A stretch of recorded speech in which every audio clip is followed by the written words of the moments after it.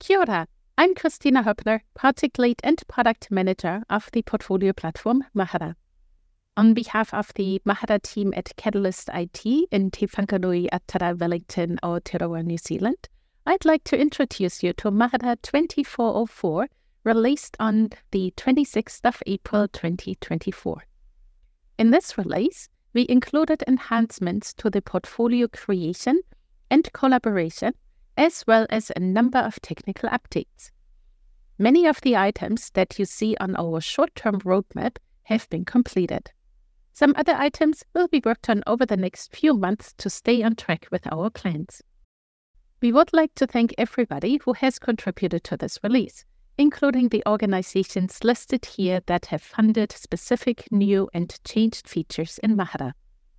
A big shout out also to all of our subscribers who, through their financial contributions, make it possible that we can continue working on Mahara and provide maintenance releases as well as new feature releases such as this one.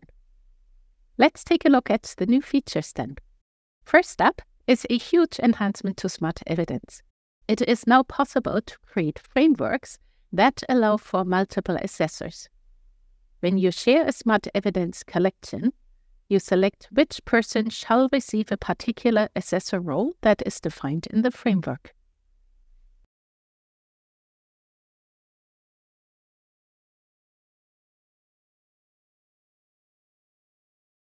When that person logs in, they can provide their assessment and feedback, and other assessors can provide theirs, making it possible to have multiple assessments including also student self-assessment displayed next to each other. Assessors also have an additional assessment status available, that of merit. Continuing professional development. The next functionality I would like to highlight is for tracking continuing professional development activities. This used to be a plugin created by Jeff Rowland many years ago based on the Plans functionality in Mahara. We are now bringing this plugin into Mahara Core to maintain it more easily.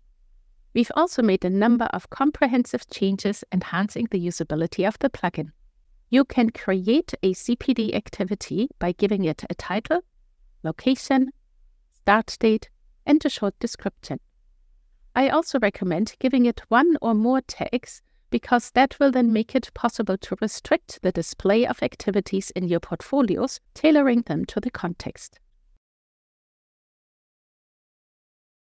Back on the overview page, you see your list of activities and the overall hours spent on them. You are now ready to add them to a portfolio page and can select your tags or also restrict the activities based on the start date.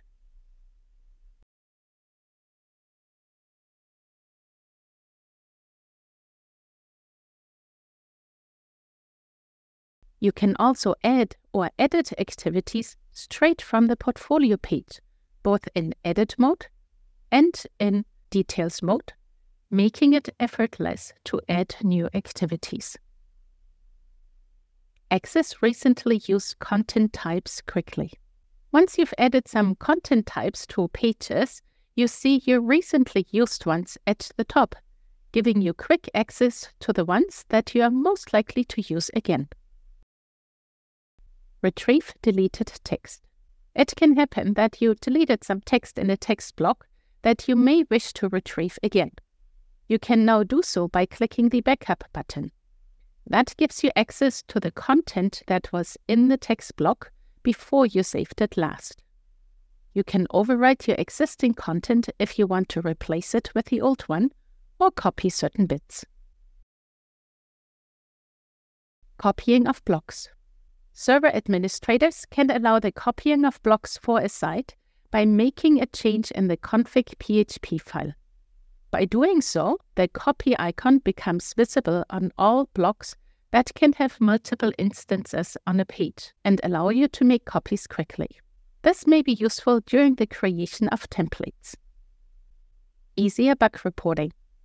It might happen that your learners encounter an issue in Mahara with a generic error message so as not to divulge too much information for security reasons. They mm. now have the possibility to report such issues via a notification to an administrator if at least one site administrator receives issue reports. Dark mode. We implemented dark mode in Mahara, allowing themes to be displayed with a dark background and light font automatically if their browser or device is set to dark mode.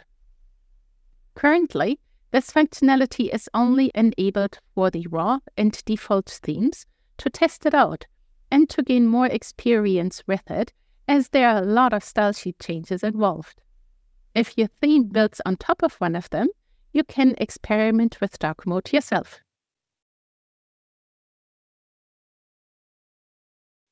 Exploring with an AI reflection bot.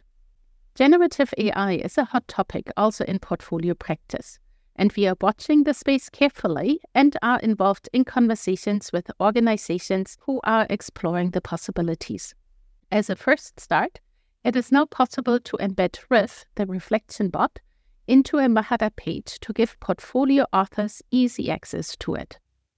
At this stage, no data is transferred from Riff to Mahara or stored in Mahara itself. It is a display only, and all data is managed by Riff. By adding it to a portfolio page, though, your learners have quick access to it for their ongoing reflection. To find out more about Riff, visit its website.